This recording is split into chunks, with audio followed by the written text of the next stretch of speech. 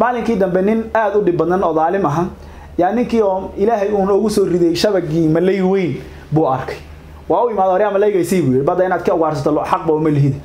Warniyo isa kaydaa carur iyo daan u wataa isa kaydaa buu muuse dayne dhegtuu ku dhuftay malaygiina waa ka qaatay. Malaygii markuu ka qaatay wuxuu sameeyey uu la sii socday.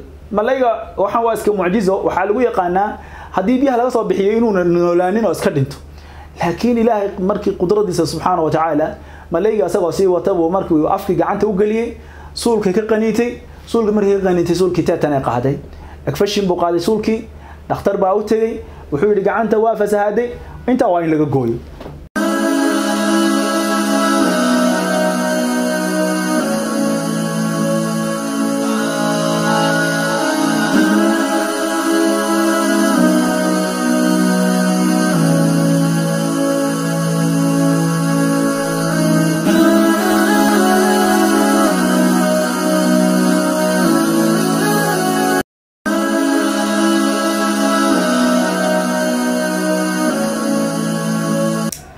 waxaa namaadijka kaleeto ahaa saciid ibnu zayd. Baa gabadh la yidhaahda arwa binti aws la yidhaahdo.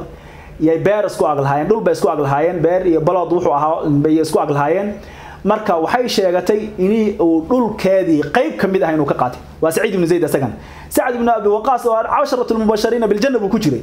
Sacad saciidkana raggaas ka mid aha markaas saciid ibnu zayd baa wuxuu yidhi gabadhii baa beerti ku qabsatay. Markay beerti ku qabsatay arwa waxaa dhihi jiray binti aws baa dhihi jiray beertii bay ku qabsatay.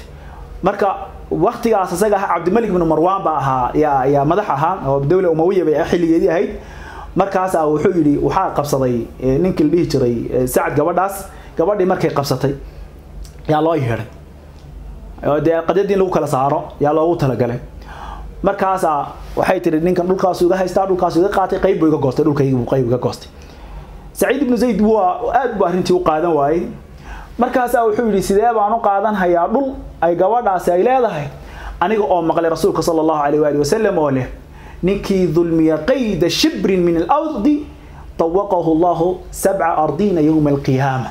Ilaahay wuxuu u luqun gelinhayaa toddobada arla ayaa luqunta loo gelinhayaa maalinta qiyaamo. Ninkii taa ka indhan oo dhul ah ninkii ilaanay madaalimtu way fara badan tahay. Intaa in la eg ninkii dulmiya oo qof ka qaataa oo xaqdarro oo kaga qaataa toddobada dhul baa luqunta loo gelinhayaa aniga oo ka maqlay rasuulka ilaahay. Seebay suurtagal ku tahay inaan dhul oy gabadhan ay leedahay inaan qaatay. Wy cabdimelig wuxuu yidhi orod wax shaahid oon ku weydiinhayo dambe. Ma jirto orod buu yidhi soco buu markaasaa saciid ibnu zayd waa istaago wuxuu yidhi ilaahay waxaan weydiisanayaa buu yidhi gabadhaas waa i dulmiday. Inuu ilaahay indhaha uu tiro. Sacad ibn waqaasna ninkiisa indhatir buu ilaahay ku abaaray. Waxyaaluhu aan ka tegay ba ka mid ahay. Wuxuu yidhi inuu ilaahay indhahana uu tiro. Wa an yaqtula biardiha dhulkeedana inuu ilaahay ku jiraan ilahay oga baryaya waxaa la sheegaa in ay indho beeshay oo ay weynaatay markii dambena ay indho beeshay dhulkii marka beertii meeshii ay lahayd sacad baa iga qaatay iyadoo dhex maraysa. Inay xufro god ku yaalla ay ku dhex dhacday oo sidii iyada ku dhimatay ayaa iyadana la tilmaamaa waxaa ka mid ahayd namaadijta xayiga ah oo saxaabada ridwaanullahi calayhim soo soo dhex martay bay maartay ka mid ahayd qofka loo baahan yahay muslimka inuu inuu ku qaato kaleeto waxaan jeclaystay marka inaan raaciyo. Qiso kaleeto iyadana ay sheegaan oo inta badan laska mutadaawal aha oo nin asagana wuxuu ugaarsan jiray bahalkan samaga la yidhahdo oo aad ba nin iska faqiir ah oo tabar yar iska aan carur iyo ciyaal iyo islaan haysta oo aan waxba hantiya isaga markaa iyo shaqo uu haya aan jirin buu ahaa. Wuxuu marka baddu iska aadi jiray malaygaas ka soo dadaban jiray.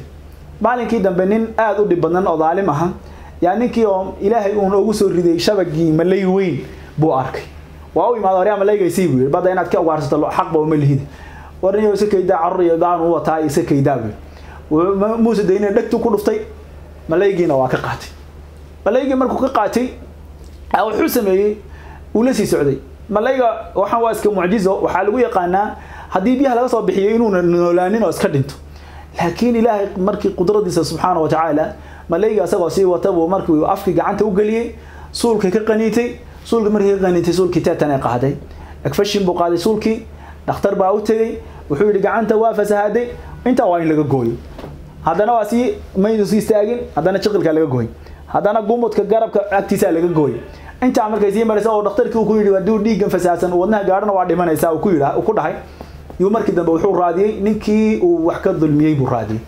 Waa u imaaday bay yidhahdeen markuu u imaaday iyo ninkii hoostiisa isku tuuray. Ninkan de nin xoog badan ba ninkan waaba la yaabaya miskiinka meesha taagan ninkan hoostiisa isku tuuray gacanta oo baaba-ay oo lafa lafaha noqday. Markaasaa wuxuu yihi warniyahow maxaa kugu dhacay? Seema warniyahow ma xusataa yihi nin maalin kaa qaatay malay weyn kaa qaatay oo kaa xoogay.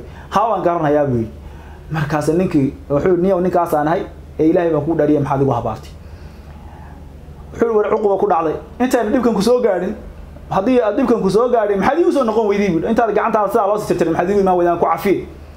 Mayn dhicin. Markaasaa wuxuu yidhi maalinkii markii aad xoogga ii sheegatay dishi yaa waxaan idhi buu ilaahay oo waad aragtaa ninkaas inuu awoodaadii aad siisay inuu igu awood sheegtay aniga dacfigaydi iyo tabardaradaydi ee ilaahay oo waxaad iga tusisaa qudradaada ilaahay ninkaa iga tusi baan idhi buu sidaasaan waa qofka markii ay culimmadu ay ka hadlayaan oo kaleete qofka madluumkee la dulmiyey xilli ay dadka kaleete ay hurdaanbu asagoo ilaahay uu baryahaya oo soo jeeda adigana laga yaabo inaad iska hurdo iska jirto imisaan wax dulminaa imisaa dad dhulkooda laga imisaa naftooda la gooyaa imisaa maaratay maalin kastaba naftooda xaqdarro lagu dilaa imisaa cirdigooda lagu xadgudbaa imisaa xuquuqdooda dhulkooda ay lahaayeen laga qaataa imisaa waa wax hadda inagu aan tirin karnaay dulmiga qaabka uu hadda uu u dhaco qaab aan inagu aan sawiri karnaay ma ah walidaalika qofka muslimka marka waxaa aboon inuu ka digtoonaado cid kasta oo uu jecel yahayna dulmigaasi in uu ka ilaaliyo oogana digo bulshaduna iska wacyigeliso inay wax dulmido maanta waad aragteen naftii in la dilo waa iska fududahay kufsigii baa iska batay oo maaragtay ilmihii yararka gabdhihiibaa maaragtay maanta la waxaynayaa qof baa maaragtay nin baa xaaskiisa dulminaya naagti baa xaaskeeda dulminaysa oo dilaysa oo laga yaabaa inay ayadana ay disho ilmihii baa maaragtay la dulminaya xuquuqda ay lahaayeen la siinaynin waalidkii ilmihiisii baa isdulminhaya qabaaishii baa isdulminaysa dowladii iyo dadkeedii racyadeedii baa isdulminhaya qaaba qaar kaleeto dulminhaya. Dulmigu maanta wuxuu noqday mutacadid oo aan la soo koobi karin buu noqday. Waxaa markaan ku soo koobahaya aan dhihi lahaa walaalayaal dulmigu nihaayadiisu marka ugu dambaysa qofka daalimkaha ayaa khaasir ah. Qofka daalimkaha ayaa khaasir ah. Madluumku ilaahay waa u gargaaraya sida rasuulku yidhi sal allahu alayhi wasallam xadiidkiisi uu ahaa la ansurannaka walow bacda xiin. Ilaahay waa u gargaaraya oo hiilada ilaahay buu helayaa waana qof ilaahay cawnkiisa uu noqonaya. Midka khaasirka ha horta waa qofka daalimka ah. Waxaa marka aan jeclaysta aan ku soo gabagabaynayna waxaa laga yaabaa inay idinku dheeraatay waqtigii ina dhaafiye. Nin baa maalin qiso ka sheekaynaya. Wuxuu yidhi nin baan la saaxiibay oon muddo safar aan ahaa baan la yara joogay ninka marka markaan wax yar aan wada fadhin ama hurdada isrogo ama uu shaqo yar qabto waxa uu yidhaahdaa allahuma qfir li abi ilaahay oo aabahay u dambi dhaaf. Allahuma arxam abi. Ilaahay oo aabahay u naxariis. Sidaas hadal ku soo celceliyaa bu markaasaa waxaan iri bu yidhi mar kastaba hadalkaasaan kaa maqlaya maxay sababtu maxay tahay? Aabbo mar kastaba in u xasuusanayso. Wuxuu yidhi aabbo waxaan ku xusuusanayaa markaan yaraa ayuu aabbahay wuxuu dhihi jiray bu yidhi aabbo nin madluuman laa daaliman aaba waxaad seexataa adiga oo lagu dulmiyey ha seexanin adiga oo wax dulmiday ha seexanin buu dhihi jiray bu anigi marka waxaa noqday nin ganacsado ah. Siddeetan iyo dhowr sano markaa jiraa ilaa saddex iyo siddeetan sano meelahaasu jiraa uu leeyahay tilmaantiisa ninka uu ka sheegayo siddeetan iyo saddex sano ganacsadaan ahay nin maalqabeeno hanti hantiile ahaan ahay. Waad ogtahay buu marka dunida dadka ganacsiga ku jiraan meelaha ugu xasad badan ugu dhib badan ugu ixtikaak badan isku qabsiga badan qofku markuu hantiile yahayna de qofka ka soo horjeedaayey muxaawalaadka ay isku dayaan waxaa ka mid ah in qofku qofka ka takhaluso oo dilo oo uu noloshiisa xataa uu waayo ama uu xoolihiisa khasaariyo buu isku dayaa. Mar oo aan qof isqabano oon isku dayo inaan aan qofkii asagaa ka aaragoosto wax ka qabsado oon aan shaqo ka qabto aabbahay hadalkiisii baa igu soo dhacayay nin madluuman laa daaliman adiga oo lagu dulmiyey seexo adiga oo wax dulmiyeysa aabbaha seexanin hadalkiisii ay u soo dhaca markaasaan arrinta gacanta kala bixi jiray. Xataa haddii laga gardaran yahay baan gacanta kala bixi jiray oo iskaga socon jiray buu yidhi.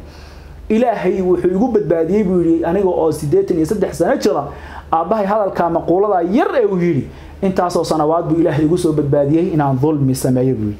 Way habboon tahay marka inaan dadka innaga bulshadeena isu dardaaranno oo dulmiga aan iskaga digno dhibaatooyinkaas fara badan ayuu leeyahay aakharana dadka ugu cadaab kulul ayay ku jiraan dadka daalimiinta. Ilahay waxaan weydiisanaynaa inuu inaga kor qaado dulmiga innagana inuusan ilaahay inaga dhigin dhaalimiinta iyo inta u kaalmaysatoonaba inuunan ilaahay inaga dhigin. Jazaakum allahu khayran wasalaamu calaykum waraxmat ullahi tacala wabarakaatu